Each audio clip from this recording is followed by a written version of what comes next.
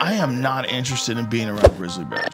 You have a fear of grizzly bears. Everyone should have a fear of grizzly bears. It's a 900 pound predatory wild dog. It runs It 20 just miles an roams through the woods. No fences. Yeah. No fences. Yeah. My friend watched through a scope. He was looking through like a long range scope. Yeah. He watched this bear as it was chasing. They were like, oh shit, it's chasing him, it's chasing him. The bear caught up to the moose and broke its back. with a oh, slap. Oh shit. Just bang! The moose is fucked, slams against the side of this tree.